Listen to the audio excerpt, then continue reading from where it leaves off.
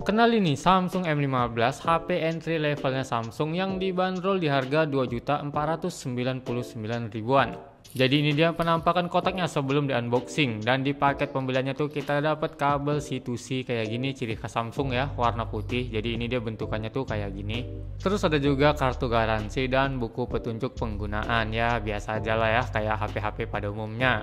Dan buat yang lainnya nih adapter charger dapat nggak bang? Dapat kok, tapi di tokonya ya kalian beli sendiri alias dijual terpisah. Jadi HP ini tuh nggak dikasih adapter charger dan screen protector. Pelit bener dah Samsung ini. Dan ini juga ada SIM tray ejector dan HP ini mengusung tema ramah lingkungan. Jadi biasanya ini dibalut sama plastik, kali ini dibalut sama kertas yang bisa didaur ulang. Dan ini dia penampakan HP M15 nya Cakep ya Yaudah yuk langsung aja kita shutdown dan kita mainkan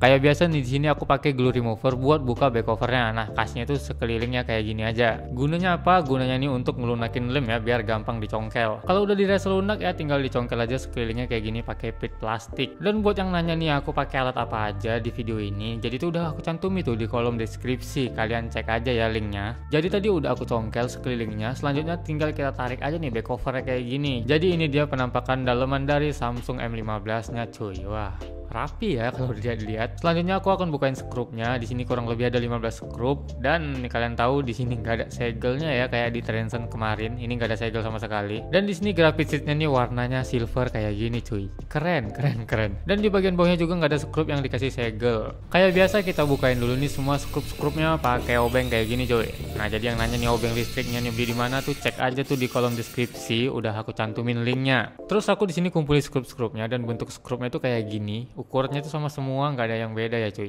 Tapi menurutku ya Samsung kalau kasih build quality sih emang oke okay ya walau di HP entry levelnya. Contohnya tuh kayak bagian bezelnya yang dikasih protection plastik transparan kayak gini. Next kita bukain dulu nih slot SIM tray-nya tapi nanti ini kita bahas di akhir aja ya sekalian part-part lainnya. Selanjutnya aku congkel nih di bagian frame-nya. Ini congkelnya rada susah bukan rada susah susah banget. Nggak kayak HP Transcend yang bisa aku congkel pakai kuku. Ini susah cuy. Ini sampai sakit kukuku cuy dan ini udah aku buka tapi ini bentar ada yang nyangkut. Oh ternyata ini soket dari fingerprint nya bentar ya aku buka terlebih dahulu. Dan ini tinggal dicongkel kayak gini aja nih gampang banget bukanya. Dan ini udah kebuka jadi ini dia penampakan dari mesin Samsung M15 cuy. Next kita langsung aja buka. Di sini ada dua skrup ya di bagian atas satu dan di bagian bawah satu Selanjutnya aku mau bukain semua konektor-konektornya dimulai dari konektor baterai terlebih dahulu. Selanjutnya konektor yang menghubungkan papan mainboard dan papan subboard. Ini cuma satu konektor doang ya, satu fleksibel. Dan di bagian bawahnya ini ada dua cabang. Nah, jadi dia kayak gini. Kita buka juga. Terus kita buka juga nih antenanya di sini ada dua antena, yang warna merah dan warna biru. Mungkin karena ini 5G ya, antenanya jadi dua. Ya udah langsung aja kita angkat nih mesinnya. Jadi mesinnya tuh kayak gini dia di bawahnya nggak pakai thermal pasta. Nah, jadi dia pakai kayak lempengan besi gitu cuy untuk bagian penutup mesinnya nanti aja kita bahas. Selanjutnya aku mau bukain semua nih sensor-sensor kameranya mulai dari kamera selfie, habis itu kamera ultrawide dan ada juga kamera utamanya cuy. Selanjutnya aku mau bukain di bagian papan bawahnya. Di sini ada dua antena juga ya. Ini sambungan yang dari atas tadi ada warna merah dan warna biru juga sama aja. Dan selanjutnya ini aku mau buka fleksibel LCD-nya. Jadi ini fleksibel LCD-nya itu dilem pakai double tip dan di sini aku kasih cairan glue remover biar gampang buka double tape-nya coy. Next aku mau buka baterainya. Ini bukanya tinggal ditarik aja stiker birunya. Kalau di Infinix tuh biasanya warnanya hijau ya di Infinix, Itel atau Tecno itu warnanya hijau.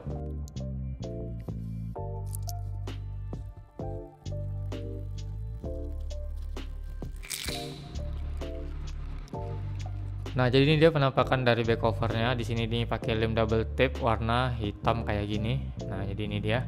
Dan untuk graphic sheetnya di sini dia warnanya warna silver ya cuy sama kayak di bagian frame-nya tadi. Jadi ini dia graphic sheetnya warnanya silver beda daripada HP-HP lainnya. Untuk bahannya sendiri ini dari plastik tipis kayak biasa dengan motif garis-garis ya. Nah jadi ini motif garis-garisnya kayak gini. Dan Samsung M15 ini terdiri dari tiga varian warna. Yang punya aku ini warna dark blue terus ada light blue dan ada juga warna grey. Desainnya sendiri menurut aku ini udah bagus banget untuk HP harga 2 jutaan. Selanjutnya kita bahas ini di bagian framenya. Jadi ini nih ada graphic sheet warnanya silver yang biasanya itu di HP lain warna hitam terus yang ini nih modul NFC nya dan banyak banget nih antena antena penguat sinyal di bagian frame ini mau di atas ataupun di bawah Terus di sini ada tulisan M15 dan di bagian belakangnya nih ada sensor fingerprint ya. Sayang banget sensor fingerprintnya masih nempel di tombol kayak gini. Padahal ini layar udah AMOLED, cuman nggak tahu Samsung kasih yang model kayak gini. Tapi untuk responsivitasnya sih udah nggak perlu diraguin lagi. Ini udah aku tes tadi ya, enak-enak aja, normal-normal aja. Dan aku coba juga beberapa kali tetap cepat responnya dari fingerprintnya. Jadi nggak ada yang perlu dikhawatirkan untuk responsivitas fingerprintnya.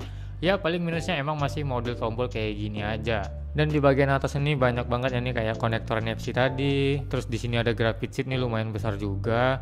Dan ada juga kuningan-kuningan penguat sinyal ya konektornya di belakang sih emang. Terus di bagian bawahnya nih ada buzzer atau speakernya. Ini speakernya kayak gini. Dan untuk hasil suara speaker itu kayak gini cuy. Ini untuk volumenya udah di 100% ya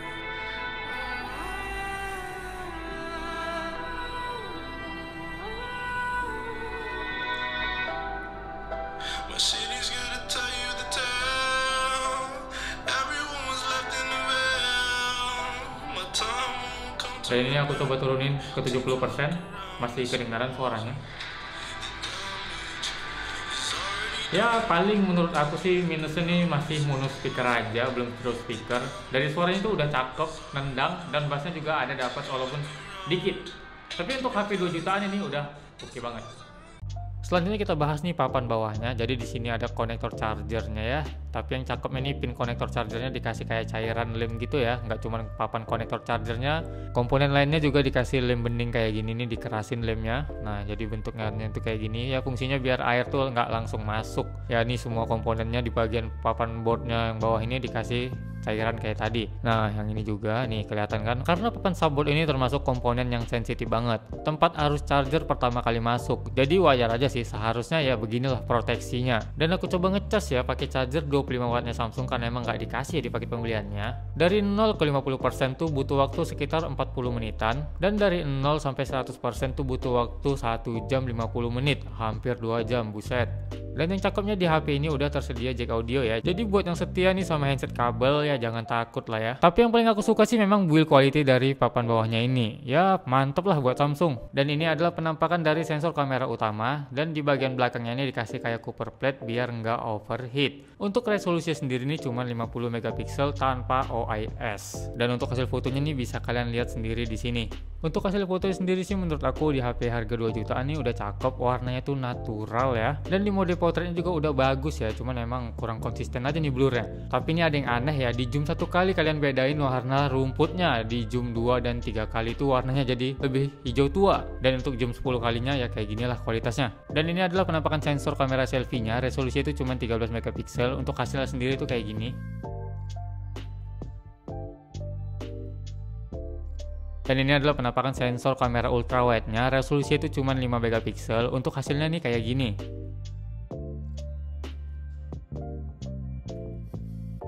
Dan yang ini nih yang kecil nih sensor kamera makro, resolusi itu 2 megapiksel, untuk hasilnya tuh kayak gini.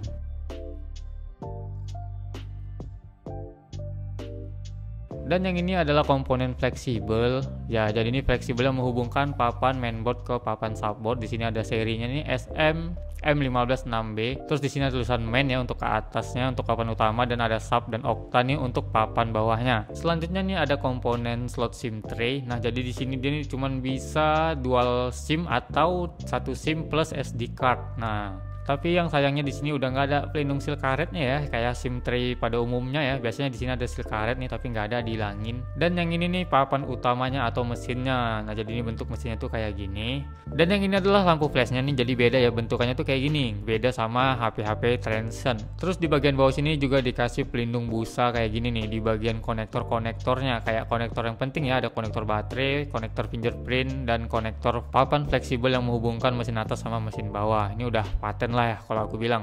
Dan di bagian belakang ini kayak dikasih pelindung nih kayak bukan copper plate nih kayak lempengan besi jadinya cuy. Ini aku coba buka dan kita lihat sama-sama nih malah dikit banget nih thermal pastanya. Bentuknya malah kayak Patrick Star lagi cuy Dan ini lapisan cooling systemnya tadi, semacam kayak copper plate, tapi ini warnanya silver dan lebih tebal. Nah ini baru pertama kali kita lihat nih di channel ini, pertama kali kita bongkar ada semacam kayak gini. Dan ini bakalan aku bersihin ya nih si Patrick Star-nya, aku mau lihat chipsetnya ya. Jadi ini dia Patrick Star ini dikit banget, oh, pelit banget sih Samsung ya. Dan ini dia penampakan chipsetnya MediaTek Dimensity 6100 Plus. Aku coba main ML dapat FPS rata-rata tuh di 86 FPS, lancar-lancar aja sih. Untuk responsivitasnya sih emang agak kurang enak yang aku rasain. Tapi wajar karena balik lagi lah harganya yang cuma 2 jutaan. Untuk suhu sendiri tuh mentok-mentok cuma di 41 derajat Celcius itu pun di bagian layarnya. Ya mengingat lagi nih HP nggak punya vapor chamber. Terus untuk sektor baterainya nih dia pakai baterai 6000 mAh. Aku coba main ML kurang lebih 17 menit, baterainya itu berkurang kurang lebih 8% cuy. Dan untuk bobot baterai sendiri ini ada di 64 gram cuy. Selanjutnya di bagian framenya nih HP ini nggak punya vapor chamber ya kayak HP 2 jutaan Transcend yang lainnya yang mengusung tema gaming. Di bagian bawah sini nih ada vibrator nih bentuknya bulat ya kayak HP entry level pada umumnya lah ya. Dan di bagian atas ini ada speaker untuk nelpon, ini bukan stereo speaker. Terus cooling sistemnya ini dia pakai kayak gel kayak gini ya, ini bukan thermal pasta. Terus untuk LCD sendiri dia pakai Super AMOLED yang sayangnya nih bezelnya tebal banget menurut aku. Plus poninya masih pakai water drop. Ya sangat disayangkan sih, untuk HP 2 jutaan sekarang brand lain tuh udah pakai bezel yang tipis, udah pakai punch hole lagi ya.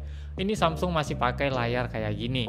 Untuk spek layarnya tuh ada dia pakai panel Super AMOLED dengan ukurannya tuh 6,5 inci, refresh rate-nya 90 Hz, resolusinya di 1080 x 2340 pixel.